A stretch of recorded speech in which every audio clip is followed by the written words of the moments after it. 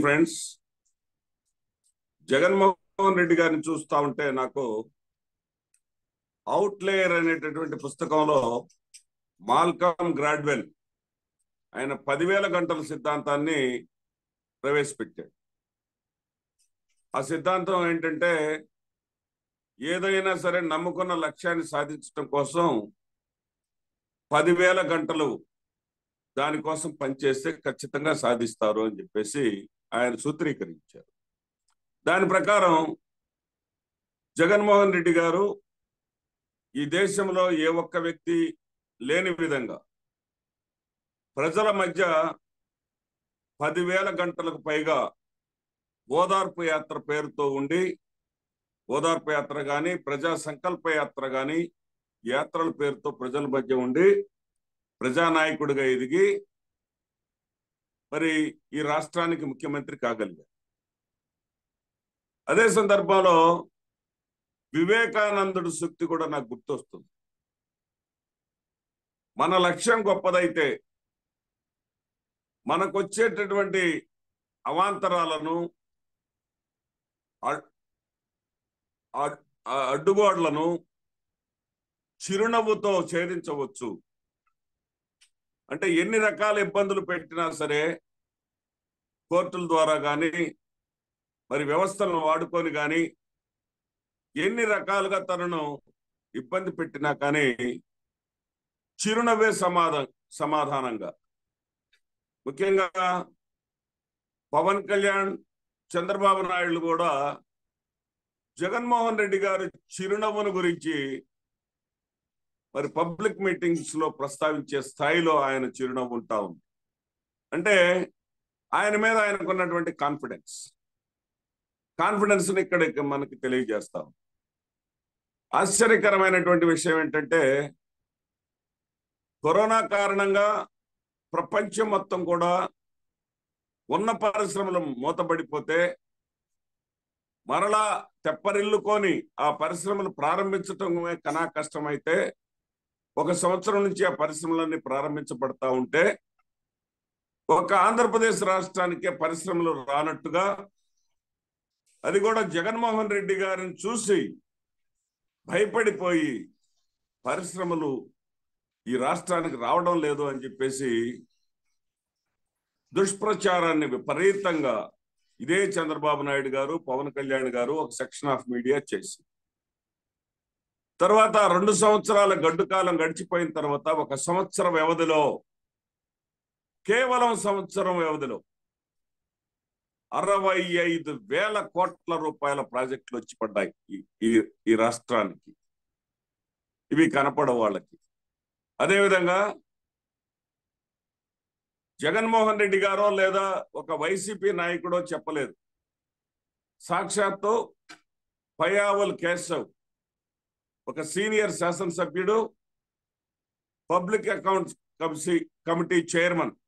ఆయన చెప్పాడు ఏమిటంటే లక్ష కోట్ల విద్యుత్ ప్రాజెక్టులను అంటే స్టోరేజ్ అండ్ పంప్డ్ ప్రాజెక్టులను లక్ష కోట్ల ప్రాజెక్టులను తన అస్పదీయులకే అంటే జగన్మోహన్ రెడ్డి గారి బంధువులకే కేటాయించుకున్నారు అని చెప్పారు.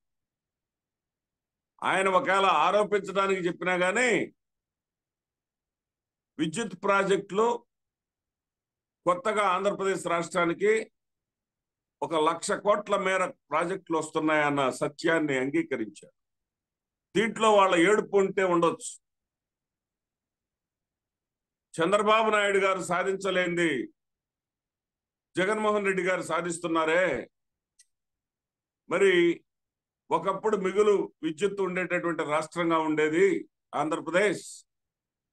మరి ఈ ప్రాజెక్టులు కానీ విజయవంతమైతే ఈ ప్రాజెక్టులు కూడా పని బాటలో పడితే ఆంధ్రప్రదేశ్ రాష్ట్రానికి మిగులు విద్యుత్ వస్తే ఆంధ్రప్రదేశ్ ఆర్థికంగా పుంజుకుంటుంది.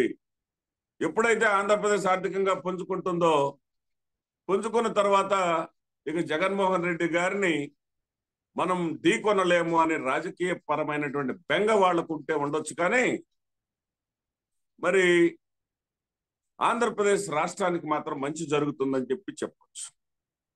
ఇక్కడ భూముల కేటాయింపు గురించి కూడా మాట్లాడారు. ఆశ్చర్యం వేస్తుంది నవ్వు కలుగుతా ఉంటుంది రామ్కి రామ్కి సంస్థకు మొట్టమొదట భూములు కేటాయించింది చంద్రబాబు నాయుడు గారు. మరి అప్పుడు ఆయన కేటాయించినప్పుడేమో ఆంధ్రప్రదేశ్ రాష్ట్ర అభివృద్ధి కోసం అనుభవం ఉన్నటువంటి ఒక సంస్థకు ఆయన కేటాయించినట్టు. అదే ఇప్పుడు జగన్మోహన్ రెడ్డి గారు అదే రామ్కి సంస్థకు భూములు కేటాయిస్తే ఆయనకి అస్మదీయుడైనటువంటి అయోధ్య రామిరెడ్డి గారికి కేటాయించినట్టు. అంటే ఇప్పుడు రామ్కి సంస్థ రాష్ట్ర ప్రయోజనాలకు పనిచేయదన్నమాట. వీళ్ళ లెక్క ప్రకారం. ఇప్పుడు అదే రామ రామ్కి సంస్థ విశాల పదాన్ని కాస్త తీసేసి అయోధ్య రామిరెడ్డి జగన్మోహన్ రెడ్డి గారికి దగ్గరవాడు అనేటటువంటి ఒక ఆ, అభిప్రాయాన్ని ప్రజల్లో కలిగించేటటువంటి ప్రయత్నం వీళ్ళు చేస్తారు. అట్లాగే మన ఏడాదిగా అరవై ఐదు వేల కోట్ల ప్రాజెక్టులు వస్తే వీళ్ళకి కనపడవు. లేదా కనపడనట్లుగా నటిస్తారు. ఈ వచ్చినటువంటి ప్రాజెక్టులలో అదానికి జగన్మోహన్ రెడ్డి గారికి ఏమన్నా బంధుత్వం ఉందా? అదేవిధంగా అరబిందోకి జగన్మోహన్ రెడ్డి గారికి ఏమన్నా బంధుత్వం ఉందా? మరి షిరిడి సాయి సంస్థ అనేది ఏమైనా చిన్నపాటి సంస్థ దేశవ్యాప్తంగా విశేషమైనటువంటి అనుభవం ఉన్నటువంటి సంస్థ కాదా? మరి దానికినో జగన్మోహన్ రెడ్డి గారికి ఏమన్నా సంబంధం ఉందా? అదేవిధంగా చంద్రబాబు నాయుడు గారి హయాంలో చంద్రబాబు నాయుడు గారి కోరిక మేరకు ఆరు వందల కోట్ల రూపాయలు పెట్టుబడి పెట్టడానికి కూడా వెనకాడినటువంటి Centurion plywood chairman Sajjan Bajanka. ఆయన జగన్మోహన్ రెడ్డి గారి పనితనం చూసి జగన్మోహన్ రెడ్డి గారు ప్రోత్సాహకాలు ఇచ్చేటటువంటి విధానాన్ని చూసి రెండు వేల ఆరు వందల కోట్ల రూపాయలు కడప జిల్లాలో బద్వేలు కడప జిల్లాలోని బద్వేల్లో పెట్టుబడులు పెట్టడానికి ముందుకొచ్చారే. మరి ఇది ఆ బజాంకా గారు ఏమన్నా జగన్మోహన్ రెడ్డి గారికి ఏమన్నా దగ్గర చుట్టమా? తర్వాత కడప స్టీల్ ప్లాంట్కి ఎన్నికల ముందు హడావుడిగా ఉత్తుత్తి శంకుస్థాపన చేశాడు. చంద్రబాబు నాయుడు గారు. ఆయన చేసినటువంటి ఉత్పత్తి శంకుస్థాపన పబ్లిసిటీ కోసం రేపు చంద్రబాబు నాయుడు ముఖ్యమంత్రి అయితే తప్ప కడపకు స్టీల్ ప్లాంట్ రాదు అనేటటువంటి ఒక అభిప్రాయాన్ని ప్రజల్లో తప్పుడు అభిప్రాయాన్ని ప్రజల్లో కల్పించడం కోసం హడావుడిగా చేసినటువంటి శంకుస్థాపన.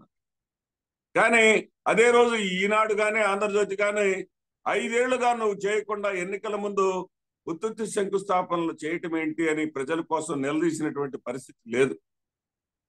అయితే ఇప్పుడు కొత్తగా ఏం చెప్తున్నాడంటే చిందాల్ స్టీల్స్ జేఎస్డబ్ల్యూ సంస్థ దేశంలోనే చాలా పేరు ప్రతిష్టలు ఉన్నటువంటి గొప్పదైనటువంటి సంస్థ.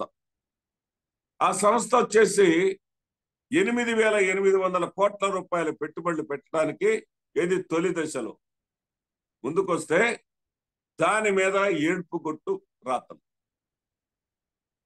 ఆ రోజున శంకుస్థాపన శంకుస్థాపన చేసిన దాన్నే ఉత్తుత్తి శంకుస్థాపననే ఫస్ట్ పేజీలో మరి బ్రహ్మాండంగా తాటికాయ అంత అక్షరాలతో రాసినటువంటి ఈనాడు ఈ రోజున ఎనిమిది వేల ఎనిమిది వందల కోట్ల రూపాయల పెట్టుబడులు మొత్తం పదిహేను వేల కోట్ల పెట్టుబడుల్లో ఎనిమిది వేల ఎనిమిది వందల కోట్ల రూపాయల పెట్టుబడులు ప్రజల ముందుకు వస్తే మరి ఆ యొక్క కడప స్టీల్ ఫ్యా- ఫ్యాక్టరీ పునరుద్ధరణ జరుగుతూ ఉంటే ఆగిపోయింది అనుకున్నటువంటి ప్రాజెక్టు ప్రారంభమైతే రాష్ట్ర ప్రజలకు నిజాలు చెప్పకుండా కడప స్టీల్ ప్లాంట్లో కదలిక. అదేవిధంగా నిధులు కోత ఉపాధి అవకాశాల కోత అనే నెగటివ్ వార్త. ఎవరైనా సరే సంస్థను స్థా- స్థాపించే వాళ్ళు ఒక్కసారిగా వచ్చి కుమ్మరించరు కదా. మరి దాంట్లో సక్సెస్ అయిన తర్వాత వరుస వారీగా పెట్టుబడులు పెట్టుకుంటా వస్తారు. మొట్టమొదటి దశలో ఎనిమిది వేల ఎనిమిది వందల కోట్ల రూపాయలు పెట్టుబడి పెడతా ఉన్నారు. భవిష్యత్తులో మొత్తం ఫుల్ ఫ్లెడ్జెడ్గా పదిహేను పదిహేను వేల కోట్ల పెట్టుబడులు కూడా ఆయన పెడతారు. అదేవిధంగా చాలా మంది పారిశ్రామికవేత్తలు. అదానీ గారు కావచ్చు మరి ఆదిత్య బిర్లా గారు కావచ్చు కుమారమంగళం బిర్లా గారు కావచ్చు డిక్సన్ కంపెనీ వారు కావచ్చు వీళ్ళందరూ కూడా జగన్మోహన్ రెడ్డి గారు ప్రారంభించినటువంటి పారిశ్రామిక వాడ కొప్పర్తిని దన్ను చూసుకొని కొప్పర్తిలో ఉన్నటువంటి ప్రకటించినటువంటి ప్రోత్సాహకాలను చూసుకొని పరిశ్రమలు ప్రారంభించటం లేదా? ఈ పరిశ్రమలన్నీ మీకు కంటగింపుగా ఉన్నాయా? మరి ఈ క్రమంలో అమరరాజా బ్యాటరీస్ తన యొక్క వ్యాపార విస్తరణలో భాగంగా తెలంగాణలో కూడా ఒక తొమ్మిది వేల కోట్ల రూపాయల పెట్టుబడులు భవిష్యత్తులో రాబోయే పదేళ్ళ కాలంలో పెట్టడానికి సిద్ధమైతే